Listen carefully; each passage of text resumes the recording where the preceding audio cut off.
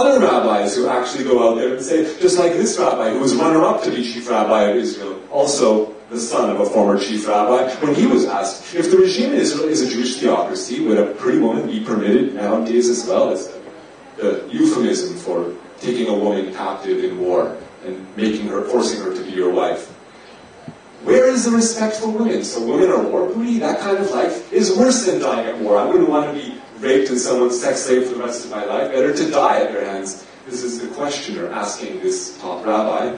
The rabbi answers, Now he's got to fight, and you shouldn't be preaching morality to him. Don't weaken his spirit. Far from his wife, cravings burden him. During war, he's liable to think about women and then not fight as well. If you forbid him from a beautiful woman, he's likely to get to the point where the Jewish people will be defeated. Okay, if you don't allow him to rape, he won't fight as hard, and all the Jewish people will lose in war.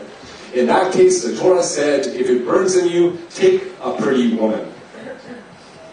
Today, of course, he's saying, oh, but that's all theoretical. Today, Jewish men have no desire for Arab women.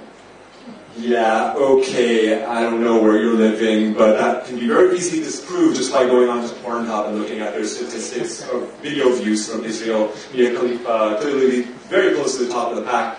I can assert that yes, Jewish men are attracted to Arab women, but um, that's, you know, that from in his conception, in his conception, he says, if you find one Jewish man who's attracted to a woman, it's one in a million. And if you check that one in a million, you'll also understand why. That would be crazy. Only a psychotic, you know, crazy man would be attracted to an Arab woman. This man